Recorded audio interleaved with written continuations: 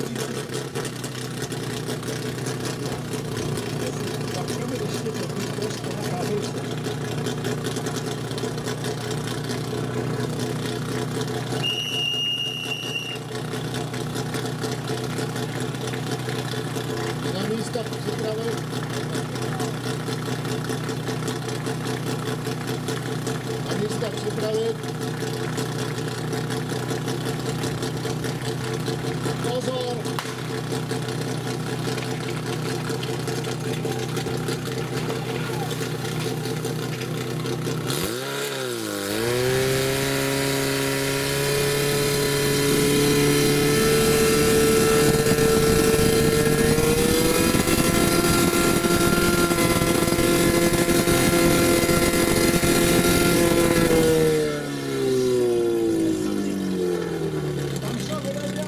ideálně dopředu, nalevo se to povedlo velice hezky, tam je 17 půl, ale bohužel